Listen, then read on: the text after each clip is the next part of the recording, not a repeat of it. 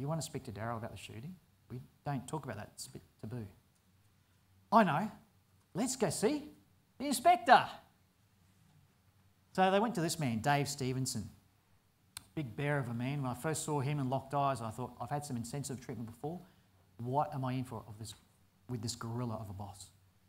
Turns out, finest interpersonal skills anyone I've ever met. And he said, Well, why don't we empower Daryl? Ask him. And that's what happened. They asked, I said yes. In 2006, 10 years ago, I spoke on the shooting for the first time.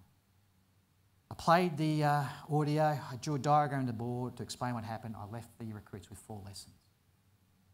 But it was what happened before I spoke that was critical. Dave Stevenson came over to me and said, Hey, Granny, I hear you speaking to the recruits. Mate, do you think I could come along and watch? I think it might help me be a better boss for you. I said yes. He was there, and it was just him and I who walked back after the uh, presentation together.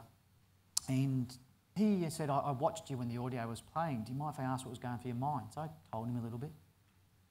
And then he asked me how I was going. And I said to him, Dave, my life is work, study, and community. There's really not much that.